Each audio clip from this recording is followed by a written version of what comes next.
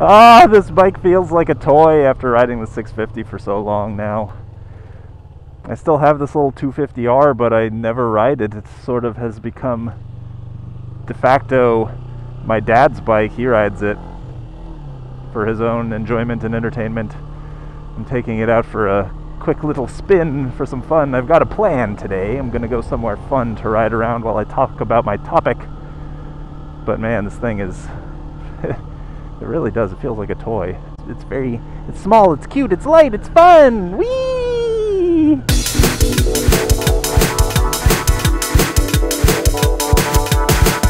I have no idea how fast I'm going. There's no speedometer on this bike. What am I going to talk about today? Motorcycle touring. Something that maybe a lot of moto vloggers haven't really gotten into that much. But I recently got interested in it. Uh, I'm not exactly sure how it is that I came to be interested in it, but I am. I just like the idea of a person or people, you know, just them and their machines out not against the elements, I guess, but in the elements, surviving the elements, going on a trip, getting from point A to point B, just sort of being self sufficient out on the road. I like that idea. So I decided I wanted to try it, and uh, a couple of months ago, uh, I decided to do it. I uh, sort of spur the moment. I just threw together a quick plan in, you know, in the space of about a week and ended up doing it. I rode my bike up Big Sur. Uh, I camped along the way. I stayed up north with a friend in Napa, California, wine country. Enjoyed some wine. Then rode back down the 5 freeway, and uh, it was great. It was quite wonderful, actually. And uh, I guess uh, this is my introduction video to that. Uh, uh, I wanted to make a little introduction to it because I also wanted to talk about The Long Way Round, which is a movie that uh, Ewan McGregor, Charlie Boorman, and a guy named Claudio, whose last name I can't remember, made together. They rode their motorcycles all the way from London to, you know, across Europe and Russia, all the way to New York. Hell of a ride, man. And man, they encountered adversity like I cannot imagine. You know, they encountered mafia, they encountered weather, they encountered rough terrain. It was very brutal. And what uh, what struck me as very odd about that whole their their adventure is how unprepared they seemed for it uh, mentally.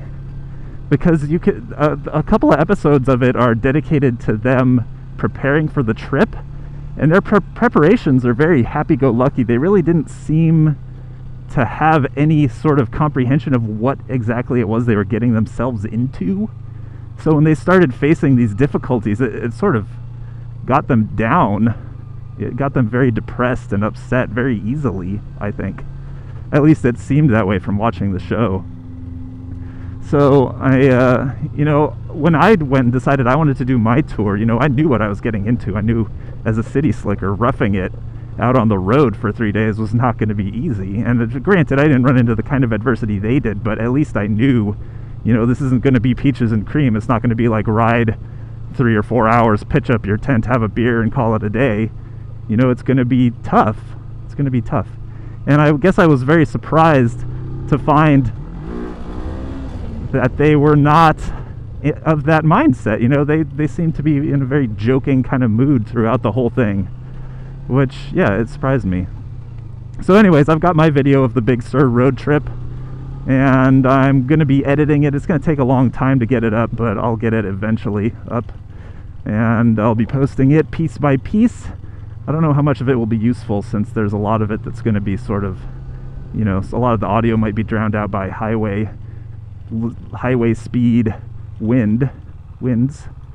So anyways i wanted to do this video in this dirt field because i wanted to come out onto this uh, so-called dirt thingy for a long time now and ride around on it on my little 250 uh, but i never really got around to it just never made the time for it. So i figured if i was going to talk about the long way around and riding bikes on uh, you know crummy terrain then i might as well finally make a video on this dirt thingy and do the long way around video that here. So, anyways, yeah, that's something for you to look forward to, I guess. Uh, that those videos will be starting to come out hopefully later this month. And uh, I hope you will enjoy them. They'll give you a little bit of insight into what motorcycle touring is all about. I'm going to go explore the other side here. But yeah, look forward to that. If you want to see it, uh, if you're not subscribed, go ahead and uh, subscribe to my channel. And we will uh, go on this journey together.